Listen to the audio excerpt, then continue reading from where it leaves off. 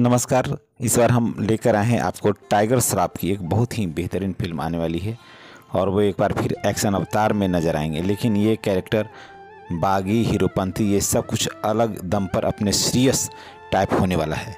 Film में Amitabh sir भी मौजूद हैं, जो शायद टाइगर के अगेंस्ट विलेन वाला कैरेक्टर भी प्ले कर सकते हैं। और अमित सर जहाँ होते हैं, वो फ़िल्म कोई नॉर्मल नहीं होती है। जी हाँ बात कर रहे हैं गणपत का।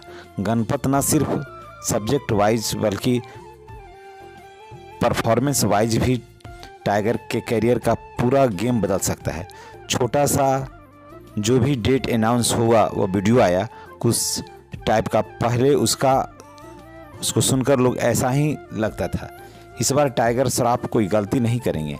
अपने कमबैक में फ़िल्म के बारे में वैसे भी काफ़ी सन्नाटा है। मेकर्स एकदम चुपचाप बैठे हैं कि अब पता नहीं आगे क्या होगा। इसका कोई अपना रीज़न हो सकता है मेकर्स को। लेकिन चीज़ें छुपाने का नहीं, ये तो पब्लिक है, वो सब कुछ जानती है। लोगों को ये एक्सपेक्ट किया है कि फ़िल्म अच्छी होगी। फ़िल्म में कुछ अपडेट बाहर निकल कर आएगा बट ऐसा कुछ हो नहीं पा रहा है। काफ़ी लंबा इंतज़ार हो गया। तारीख पे तारीख तारीख पे तारीख बढ़ती जा रही है कैलेंडर में। लेकिन अब टाइगर श्रॉफ के लिए यह गुड न्यूज़ बाहर आया है, क्योंकि फ़िल्म बहुत जल्द ही ऑफिशियली इसका डेट अनाउंस करने होने वाला है।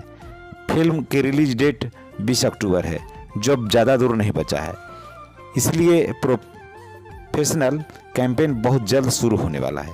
गणपति का टीजर अगस्त एंड में या फिर सितंबर की शुरुआत में होने वाला है। हफ़्ते में रिली, रिलीज़ किया जा सकता है। ऐसा कुछ सोर्सेज से पता चला है। सात सितंबर को जवान आने वाली वाली है। थिएटर में बस उसके साथ अटैच करके गणपति का टीजर भी लोगों तक पहुँचाने की प्लानिंग की जा रही है। लेकिन बॉक्स ऑफ़िस को 20 अक्टूबर तक डेट रिलीज़ के हिसाब किताब से थोड़ा सा आगे पीछे खिसकाना सबसे बेहतर ऑप्शन होगा। पूछो क्यों? बिकॉज़ यहाँ पे इंडियन सिनेमा का सबसे एक्साइटिंग यूनिवर्स एक्सक्लूसिव तैयार किया गया है, जो कोई भी पंगा लेना नहीं चाहता है। बैटिंग यूनिवर्स के सामने अपनी गर्दन हाथों में लेकर खड़ा हो जाना बहुत टफ है। आपको ये देखना होगा, उसको चैलेंज करना होगा।